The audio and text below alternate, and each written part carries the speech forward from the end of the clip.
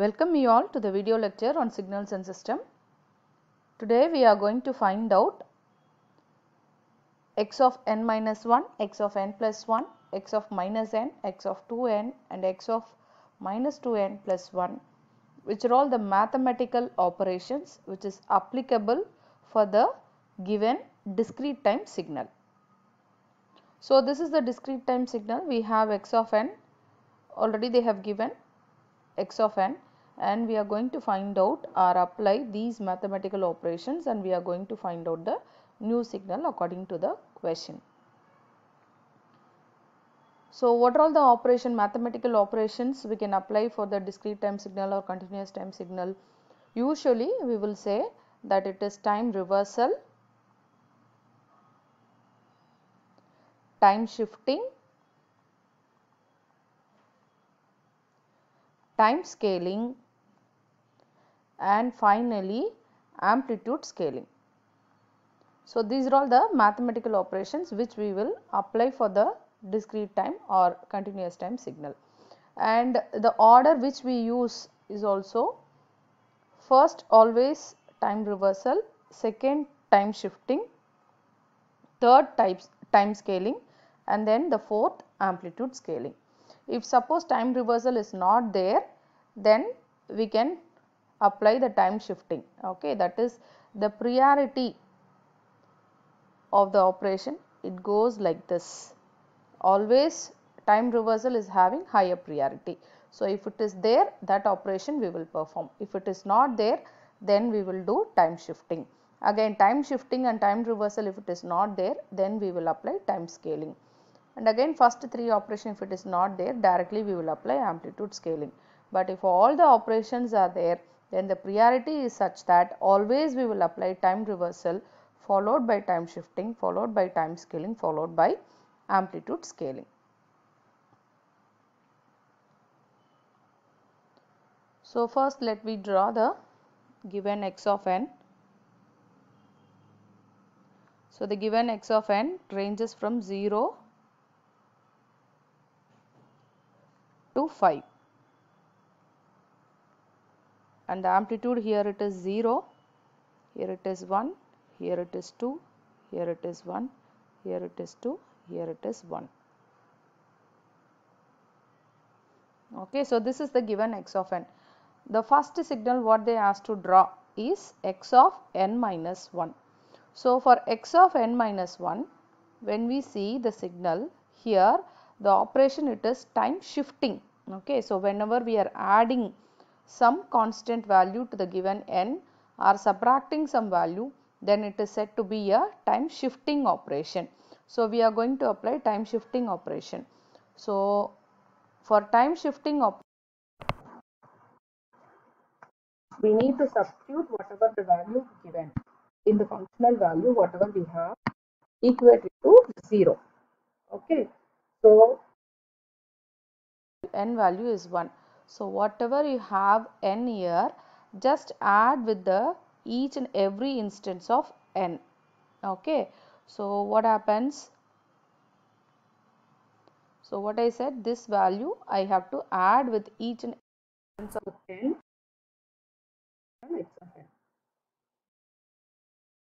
Come 0 plus 1 will become now 1 okay it gets shifted right hand side okay 2 will become 3 just you are adding the all the values with this values right? 1 with all these n ranges okay? So 0 plus 1 will become 1 and then 1 plus 1 will become 2 2 plus 1 will become 3 3 plus 1 will become 4 4 plus 1 will become 5 5 plus 1 will become 6 okay?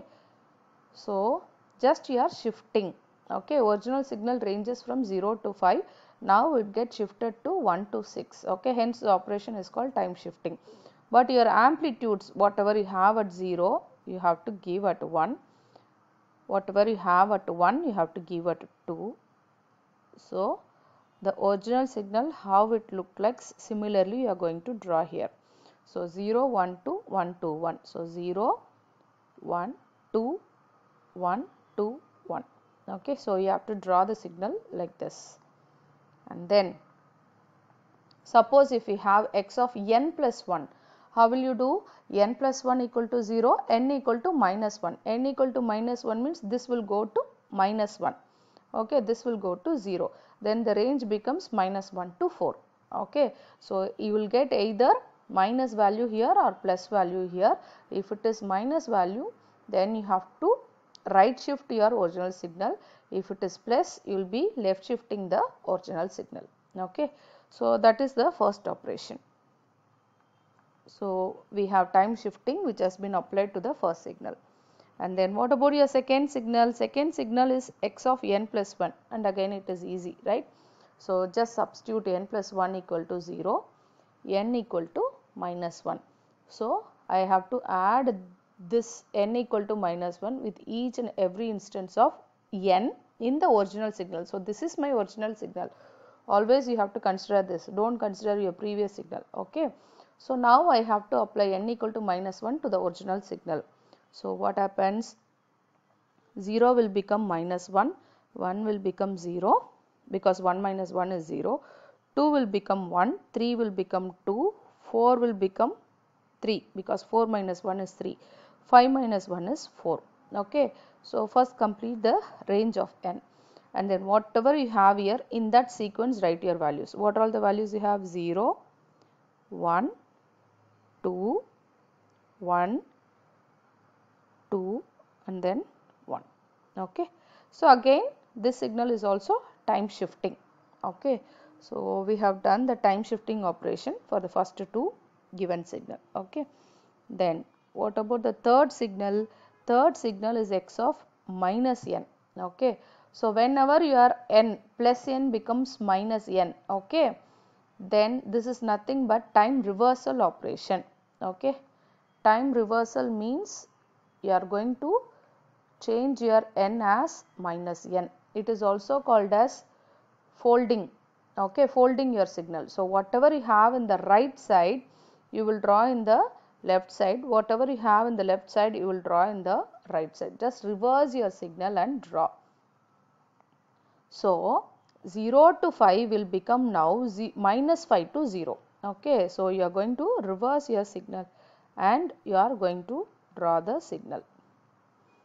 Okay so 0 to 5 will become minus 5 to 0 so whatever you have at 0 will remains at 0 as it is whatever you have at 1 will goes to minus 1 okay so what what is there at 1 the amplitude is 1 so draw amplitude 1 at minus 1 at 2 the amplitude is 2 that goes to minus 2 at 3 the amplitude is 1 that goes to minus 3 at 4 the amplitude is 2 that goes to minus 4 at 5 the amplitude is 1 that goes to minus 5 okay so this is your x of minus n.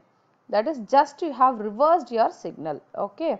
So suppose as i said before if uh, time reversal shifting if both are there in the given signal first always i have to reverse the signal and then i'll go to shifting operation. Then fourth question is x of 2n so for x of 2n okay? So again when we have addition of some values or subtraction of values it is time shifting operation if it is minus n n changes to minus n it is time reversal operation. When n is multiplied by some value or divided by some value it is time scaling operation. Okay? So here n is multiplied by some constant it becomes 2n okay?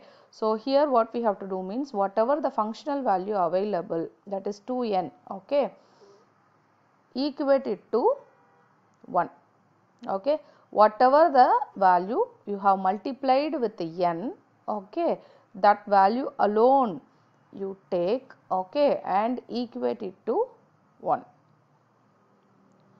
so n becomes 1 by 2 so previously you have determined the n value okay and you have added with each and every instance of n. Here we have equated it to 1 we are going to multiply with each and every instance of n okay so again the, take original signal 0 into 1 by 2 becomes 0 1 into 1 by 2 will become 1 by 2, 2 into 1 by 2 will become 1, 3 into 1 by 2 will become 3 by 2, 4 into 1 by 2 will become 2, 5 into 1 by 2 will become 5 by 2.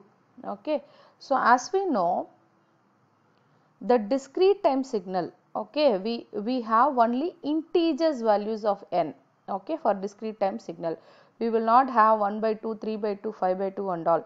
We will have 0 1 2 3 and so forth. That is the discrete time signal. So first complete your original signal. So how we will be drawing? 0 1 2 1 2 1 okay. So we know that n always takes integers. So this value will not exist. Again 1 by 2 3 by 2 will not exist. 5 by 2 will not exist. Okay. So we have to redraw your signal. So x of 2n will exist only for three values. What are all the values? 0 1 and 2 so at 0 the value is 0 at 1 the value is 2 at 2 again the value is 2 this is x of 2n okay? So you are eliminating 1 by 2 amplitude 3 by 2 amplitude 5 by 2 amplitude. Always it should be integers. Okay? And then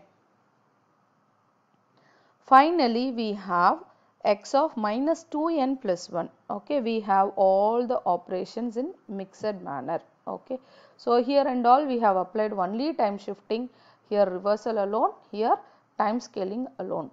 The fifth signal we are going to apply all the operations. Okay so let me see how we have to draw.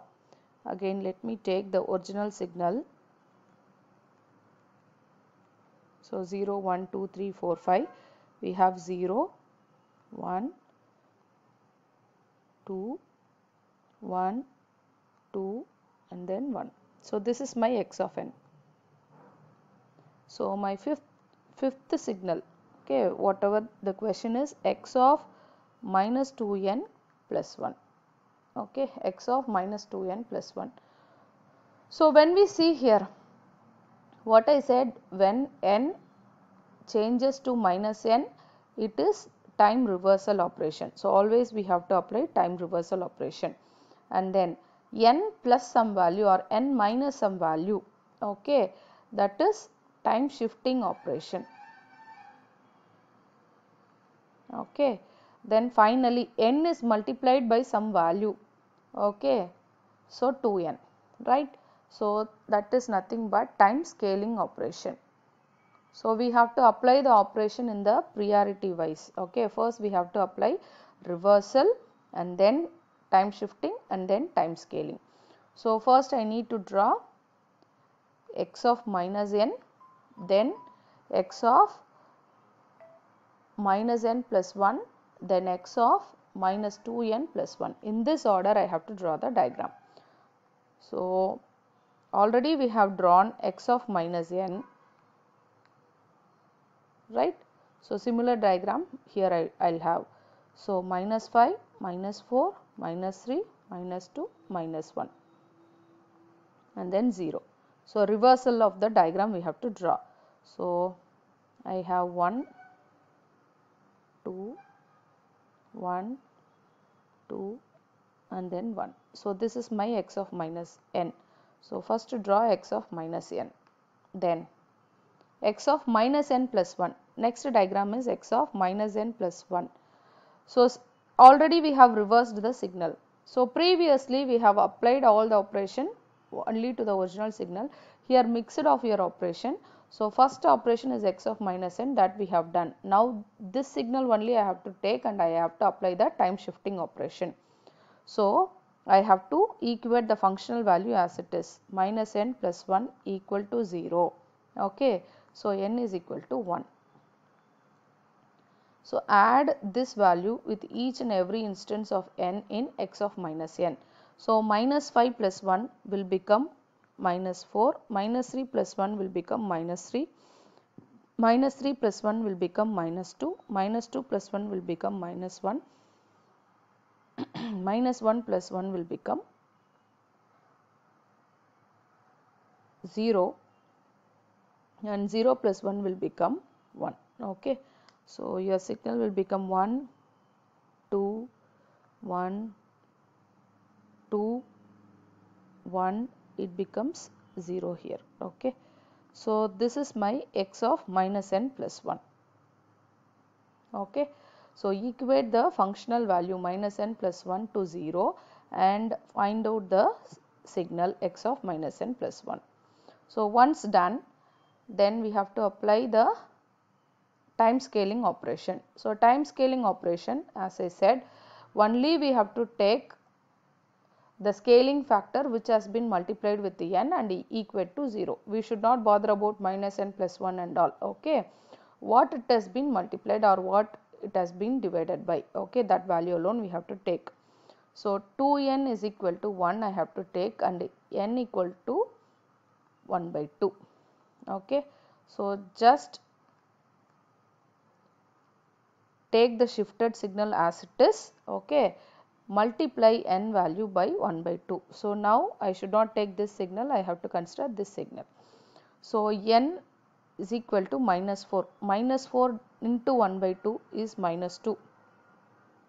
Minus 3 into 1 by 2 is minus 3 by 2. Minus 2 into 1 by 2 is minus 1. Minus 1 by 2 next. 0 into 1 by 2 becomes 0. So you have 1, 2, 1, 2 1 and then 1 by 2 I have that it is 0 okay so now again as I said discrete time signal will not have decimal point values only integers will be having so this signal I have to eliminate this signal I have to eliminate this signal I have to eliminate. I have to consider only the integers. So finally x of minus 2n plus 1 okay this signal how I have to draw? It exists at minus 2 minus 1 and 0 at minus 2 the value is 1 at minus 1 the value is 1 at 0 again the value is 1 okay so this is my final diagram x of minus 2n plus 1 okay so first always we have to apply reversal operation. So just reverse your signal. Then shifting operation. Shifting operation means just minus n plus 1 we have to take. We should not take minus 2n because it is next operation. Okay, minus n has been shifted with plus 1. So equate the whole functional value to 0 and find out the n value. Add n value with each and every instance of previous n, n value of the previous signal.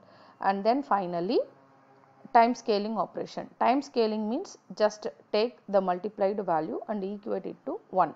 Find out your n, n value and multiply this value with each and every instance of n in the previous signal.